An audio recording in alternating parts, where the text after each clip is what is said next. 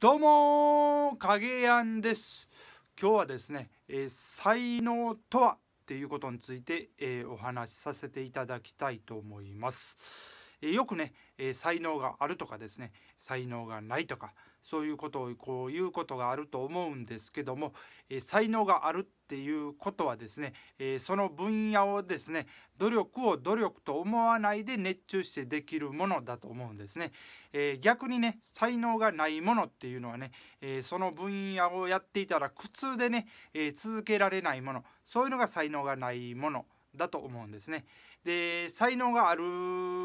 っていうものについてはですね、えー、熱中してできるんでね、えー、それをやっていることが楽しくなると思うんですね。えー、楽しいことは、え続けられるので続けてしまうのでですね、えおのずと結果が出ますと。もしくは結果が出るまで続けると思うんですよね。え続けてしまうものだと思うんですね。だからその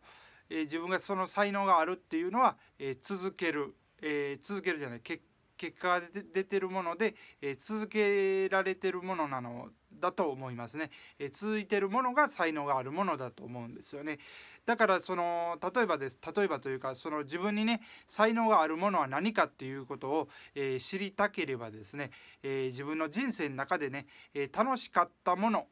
を思い出せばいいと思うんですね。でその楽しかったものとそれにつながるものを一回やってみるんですね。やってみて続けるものが続けられるものが、えー、自分に才能があるものだと思うんですね。えー、続けられることが、えー、才能があることだと思います。だから、え自分の才能っていうのは続いてるものだと思うんですね。えだからあの何て言うんですかね才能があるっていうことは特別なことじゃなくてね熱中してその続けているものが自分の才能だと思うんですね。でそうすることによって結果が出るということですね。ということでですね今日は、えー、才能とはっていうことについて、えー、僕